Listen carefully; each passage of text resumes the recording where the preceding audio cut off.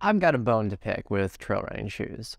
So I don't know about you if you have dealt with the same things I've dealt with, but I've gone through a lot of trail running shoes to find the perfect fit, and I've gone through three pairs that have not really done it for me. And that's annoying, right? I don't know for whatever reason why finding a good trail running shoe has become difficult in ways. And I can kind of guide you through what's been happening because these are all the trail running shoes I own, and each one has kind of a different story to it. So I'm hoping that by kind of going over what I've seen and figured out and what things actually matter and what I found what actually matter, by going through all this, it might make it easier for you to find your next trail running shoe and make it an easy time without any headaches. Because let me tell you, finally getting to my newest pair, which I can hint at right here, it took a long time and a lot of unnecessary stress about shoes. So, with that being said, let's just kind of get into it. So, the shoes that I've probably owned for the longest time are these Arc'teryx shoes. I think I got them right around the same time. And I kind of went into these Arc'teryx shoes because you know I thought that Arc'teryx would make really good trail running shoes because you know Arc'teryx are a brand that's based in they're based in Canada in on I think it's Vancouver area. They're based in Canada. They have a lot of mountainous terrain there. They're in the Pacific Northwest where I'm in the Northwest, so pretty close proximation. And you know, Arc'teryx is known for making bomb-proof gear that lasts and performs at a high level. So taking that into account, I was like, yeah, Arc'teryx should be a good shoe to get. You know, they will handle the trails, they're rugged, they'll do everything. And there are parts of the shoes that follow that kind of mentality, but there's a lot that doesn't. So with that being said, let's just kind of jump into the first shoe they'll cover from Arc'teryx, and that is the Norvan SL2. I think they're on the Norvan SL3 by now. Maybe, maybe not. These shoes I kind of got because I was looking for a lightweight shoe. You know, things I read at this time was like lightweight shoes, you know, you're going to have better feel, it's going to be better. And I was just looking for a more breathable shoe for hot days, right? Because I mean, with these, you can really see through. And I mean, you can kind of see right through right here. There's a mesh. And I was like, these shoes are going to be great when it's really hot. And they do prove to be pretty good when it's hot, but it's weird. So the upper is of a different material. It's not a material that you would see in any of these. It's actually like a TPU um, kind of grid film, sort of. Uh, the only way I can really describe it is like it's the same material, that your screen door is made out of. And that is really weird because, you know, there is not a lot of give to this. Whereas, like, all these shoes here have a mesh upper. So, with a mesh upper, your feet can kind of, you know, if they swell, they'll just expand the mesh. No problem. With these, if your feet start to swell, the TPU does not stretch and uh, it gets a little weird.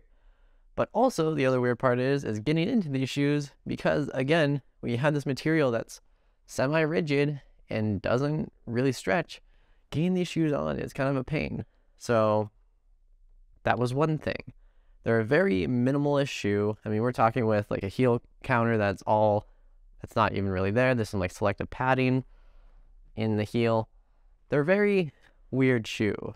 Probably the one highlight that I really like about these shoes is that the insole, the insert, is actually just stitched into it and it's not removable that is actually really nice because you don't get any insert slip and no random blisters on your feet if you're what goes into like a crack of the insert. So that's really nice. And the other highlight I would have to say is the outsole. Um, the outsole is Vibram Mega Grip with Litebase construction. This thing has proved to be very durable, and it all it's, it's also kind of why I'll hint right here.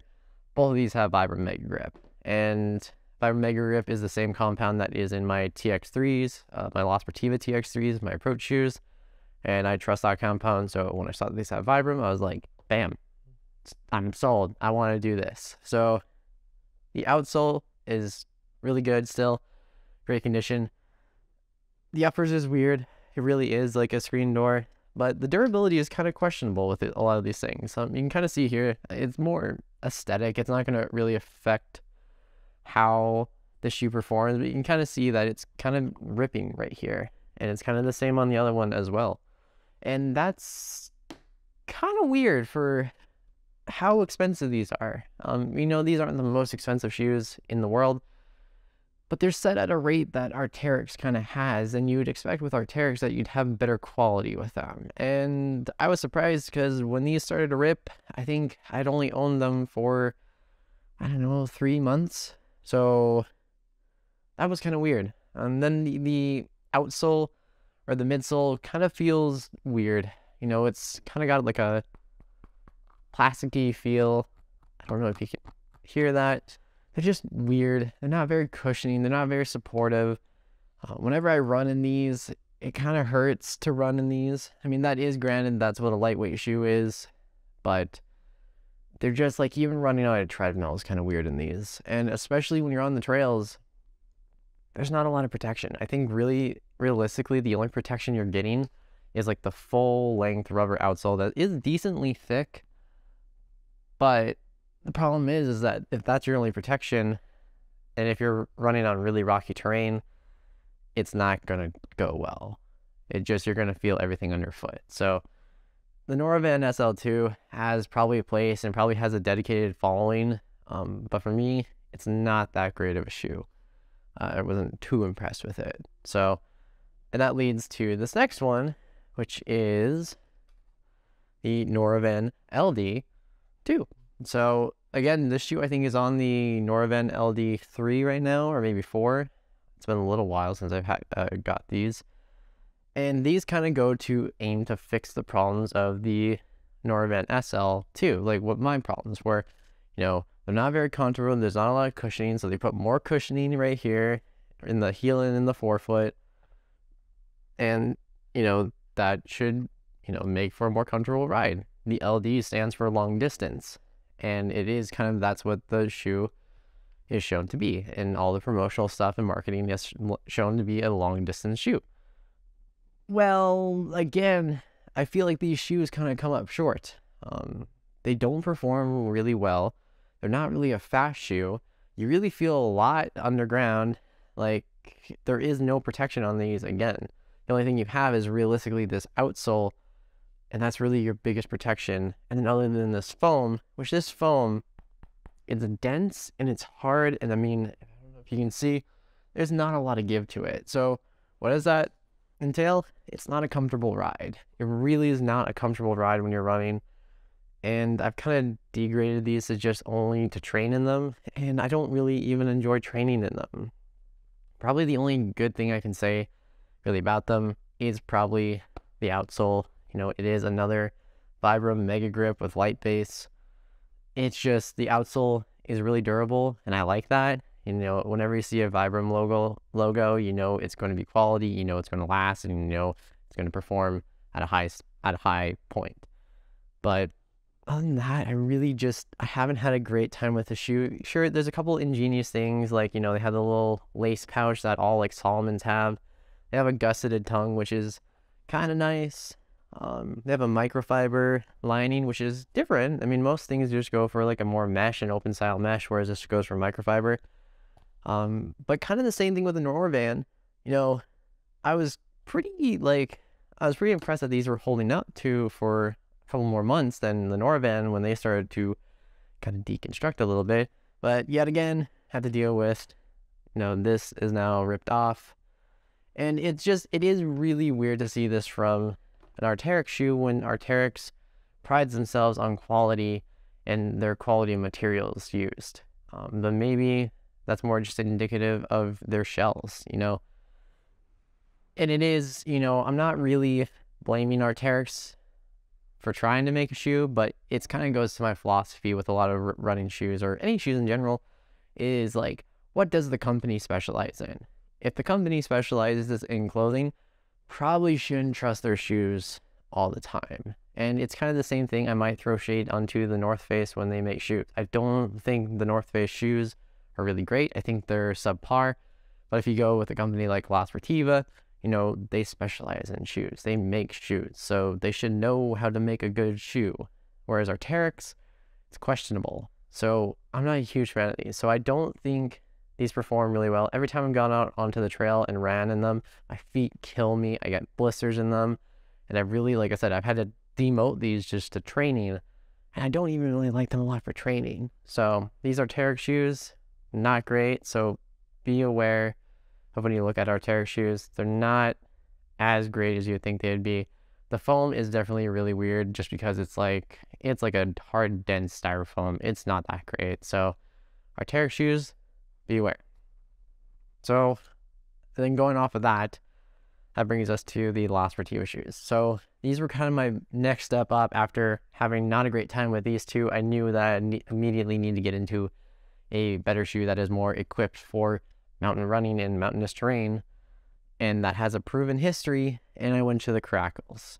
So I did a review on these Karacals And in that review, I was kind of nervous about doing it. I don't really know how to review um, trail running shoes but I kind of have a better idea now. So to preface this, I didn't even get into these because I don't like the performance of these. And actually, what I'm going to do is they're gone now. I don't even want to talk about them. They're not that great for performance. So I'll just leave it with these. So the Karacals. I'll kind of do another re-review because now I have a little bit more thoughts on how to actually review trail running shoes. And so the Karacal. The Karacals are a good quality shoe from Sportiva. They're more pitched as a long distance running shoe and recovery run shoe for Sportiva. They take after traits of the Jackal, but you know, they have an increase of foam, so you get a higher stack height. And I think you have like a six or seven millimeter drop. I will put the exact stats at the bottom so you can kind of see what it is. Um, but overall, they're decently cushioned from Sportiva. Surprisingly, though, they're not their most cushioned shoe. And that's something that sparks me with my look for a new pair of trail running shoes is Sportiva really doesn't have a lot of high cushion shoes. And that's a little weird in some aspects, but they have a lot of weird differences in their like in each category. So what I got sucked into when I was looking for trail running shoes was, well, what's the stack height in the heel and what's the stack height in the forefoot? What's the drop? And then was it lower volume or was it high volume shoe? And Sportiva has a really weird array of shoes. So something like the uh, Wildcats, the La Sportiva Wildcats are kind of their all-rounder shoe that can kind of handle everything. Um, they're really, they're a good shoe overall for like walking, but for running they're weird because they're heavy. They're kind of not secure in their lacing system. But the biggest point that's really weird is that there's like a I think there's a 12 meter, millimeter drop, which 12 millimeters, I mean, I'm over exaggerating here, but it almost feels like your feet are like this. That's kind of weird. So Sportiva does have a weird array. So you'd think that with a shoe that looks like this, it looks pretty high cushioned, would be their highest cushioned shoe. When it's not, the highest cushioned shoe for Sportiva is the Akasha 2.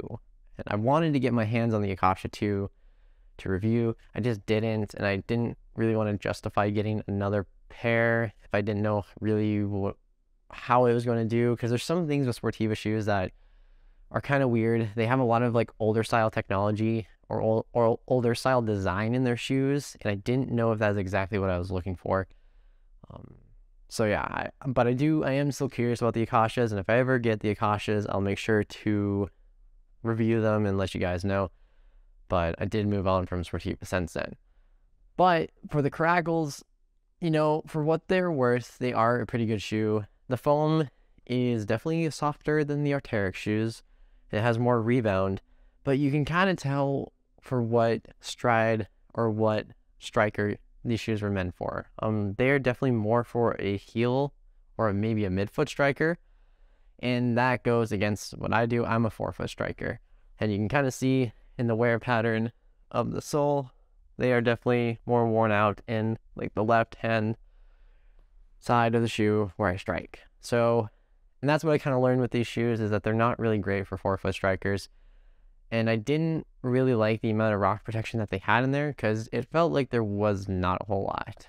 Sportiva says on their um, description of the shoe that has a full length um, kind of rock guard, and it is right here You can hear it. It's kind of like a softer, yet semi-rigid plastic that kind of goes throughout the whole midfoot, but it's more posed right in the heel and in the, there's a midfoot and forefoot, and there is more plastic in the in the midfoot.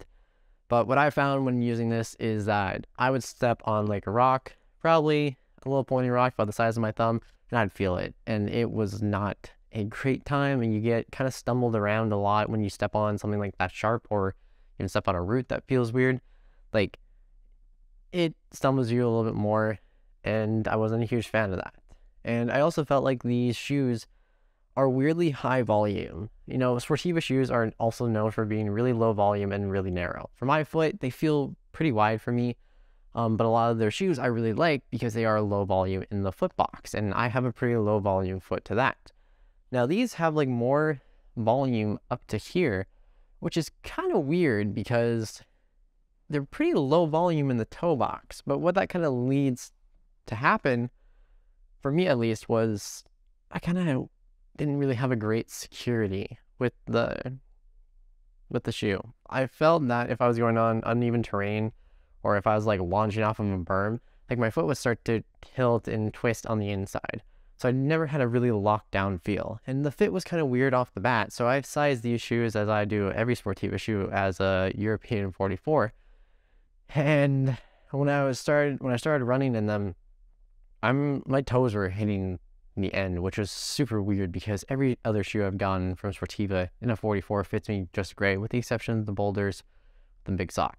But like, it was really weird to have a weird fit. And then after the more miles I put into them, you know, they did start to break in, got a little more comfortable. You know, I had a little bit more room, things kind of stretched, but still, they're not, they're not really a secure shoe for me. So I was just looking for something different. And after reading a couple of reviews around for them and also coming to the conclusion that, yeah, these aren't really a good four foot striking shoe, I did decide to move on from it. Like I said, I probably would have done the Akasha 2, and I am still interested in the Akasha 2. It's just, I didn't know if it's exactly what I wanted. So I did move on from the Karacal. Overall, they are still a pretty dang good shoe. Like I said, if you are more of a heel to midfoot striker, you'll probably enjoy them a lot. I just found for forefoot striking there wasn't enough protection or enough cushioning. And I think is weirdly enough, I think there's only 22 millimeters of stack height in the forefoot. So they're kind of skimpy when it comes to that. So yeah, that's the Karacal kind of an updated re- review, even though it's been just a, a, little while since I did an actual review. But yeah, so that's the Karacal. But what I decided to move on to was the Hoka Speedgoat 5.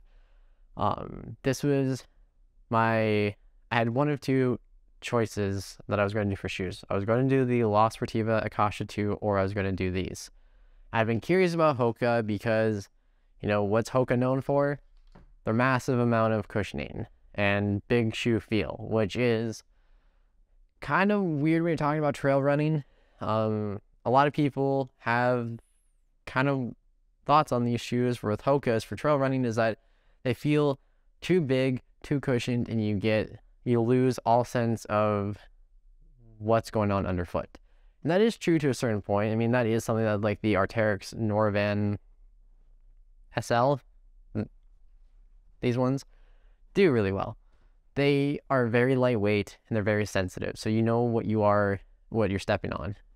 The downside to that is, is your feet start to hurt after a while. And this is where I got really confused because when you start looking up shoes and people who are reviewing trail running shoes, they were putting these categories of, well, if it's less than two hours of a run, they're like, go for something like the Norvan SL or the La Sportiva Bushido 2, which the Bushido, the Bushido 2 is kind of like the S, the Norvan SL, but you know, it's Sportiva, so it's a little bit higher quality, a lot more higher quality.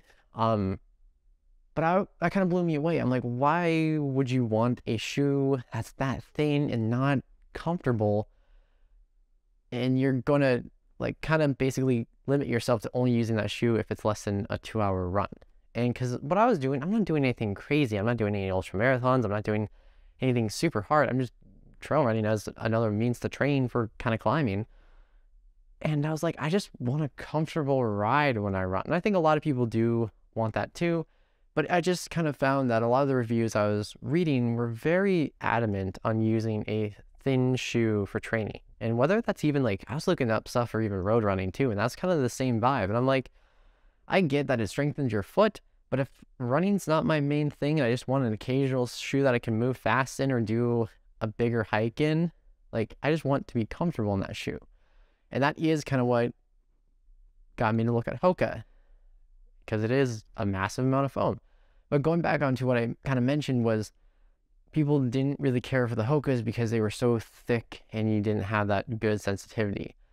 What I can say about that is it's very much almost on a case by case bias base basis, not bias.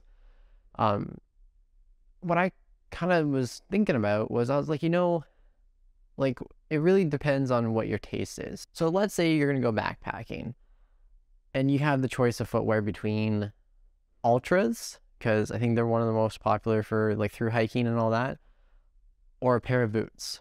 And you choose Altras, you might not really care for the Hokas. I only say that because Altras are a pretty sensitive shoe and kind of thin in ways that you get more of a feel for the ground. And if you like that and prefer that, you want you value more sensitivity to the ground. Whereas person like me, I prefer my boots. So like my La Sportiva Equilibrium ST, I love them. I will do anything and everything in those boots. I've done a lot of hiking. I've done a lot of just backpacking. I've done even trail running in them. Like trail running in boots. That should not be a term that you should be really saying, but I've done it and I actually enjoy it. I really like the equilibriums for their support and their stability. And I was kind of applying that of what was the biggest gripe with Hokas? And it was, well, you don't feel the ground. Well, I was kind of thinking about that and I was like, you know, it really just depends because I feel like when I wear boots, you just develop ground sense. When you wear boots for long enough, you do kind of have a feel for what the terrain is underfoot. Granted, like you might not know exactly what it's underfoot. Like if you step on a pebble, probably not going to feel it on the on your boot. Whereas you might feel it in a trail running shoe that's pretty lightweight. But I was taking that into account. I was like, well, if you just use it for a little bit long enough or you get accustomed to it, you know, that sensitivity, I don't need direct sensitivity in my shoes to feel confident on the terrain that I'm on. Because I wear boots and I've ran in boots and I like it. So I was like, it shouldn't really matter. So then I was willing to take a risk on the Hokas. And I've done, I just got these probably like a week ago. And I've done, I think, 12 or 13 miles in them. I really like them. I like them a lot. And everything that I had an idea of why I would like them and what other people said they disliked about them, I really like about them. I don't feel like these are super like non-sensitive to the ground. When I was running, I felt like I could feel everything underfoot. But that again might just come down to, you know, why I prefer boots, and I've just been more accustomed to that kind of lack of sensitivity while developing somewhat of a sensitivity to the ground where while wearing thicker or more cushioned sh- shoes or stiffer shoes. So I found that the Hokas were really good. They also are very they're pretty low volume. I was very surprised on this. Um, my previous, like, kind of times I've tried Hokas and never really got to run in them. I was just was trying them on. I could never get a good fit, and I think that was before I was going and using European size as a reference. I do recommend you trying to get your European size figured out because as soon as I figured that out, got these in a size 44, which are a 10, whereas like these are a 44, but they're considered a 10 and a half plus US. So get your European sizing and generally it's will be the correct size for you. So sizing 44, great. They felt great. You know, put in the runner's loop and you know, my heel didn't slip. Really like these. I'll do more in in-depth review on them when I get more mileage on them. But so far they're really comfortable and I like them a lot. So what am I trying to say through this whole video? Realistically, I think here are the things that you need to take away. One, maybe don't get involved too much with the stats. Um, if you're looking for a shoe and you get into the stack and like with all the, the different stats between drop, stack height, and all that, really just look for something that you think you're going to be comfortable in. Like my difference was when I found these is I was just looking for a, a comfortable shoe that I could run in and I wouldn't be feeling lots of pain. So I went to that, looked at the Hoka, being like, wow, there's a lot of foam in the heel and the forefoot, more foam than a lot of other brands. So why not try these out? So just generalize what the numbers that you're looking for. Don't get sucked into it. Two, probably one of the biggest things, look for the fit.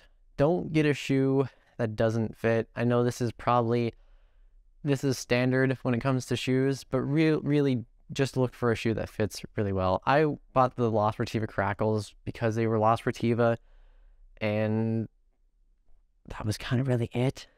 Um and because they're more of a higher volume shoe, I would have been better in something that from Sportiva that was lower volume. So don't just get it because it's the name or you think it'll have better performance. Definitely get something that fits you.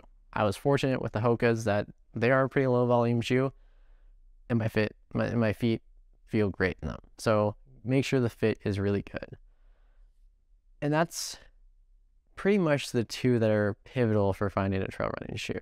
You know, like you can look up a lot of reviews and reviews can help sometimes if you get an idea of like how they do on certain terrain. But I was finding a lot of the information that I, I was looking at on trail running shoe reviews. It was like I don't know, everything that I was reading posed certain shoes to not do well in certain terrain when I'd be running on the same terrain and I'd be like, well, no, these sh- shoes did great. I don't know why these people are saying that they didn't do great. So take every review with a grain of salt, even mine, but just just be aware that a review might not be a complete and yeah, just a complete review of the shoe that it'll work and it'll work for every environment that it's being tested in because realistically not a lot of reviewers are testing them in every environment. So just be aware of that. And yeah so that's kind of my end of my trail running shoe fiasco i've got the hokas now i really like them what i like mostly about them is that i can go at a consistent speed and i don't feel like i get a lot of fatigue so that's why i really like the hokas now and yeah, so that is, like I said, the end of my trail running shoe fiasco. If you have any questions or anything at all, feel free to leave a comment. If you have a question, I'll try to get to it as fast as possible. I know there's probably stuff I glazed over. If you want to hear more about the Arc'teryx shoes, maybe just leave a comment. I don't think I'm going to do a review on them. I just, yeah, they're not too great of a shoe, and I don't really like to do a lot of them. So you will see a review on the Hokas soon like I said, once I get more miles in them. So with that being said, thank you guys for watching this video. I know it's kind of long and it's more of a rant kind of sort of thing. But yeah. I well with that being said, I'll see you guys in the next one.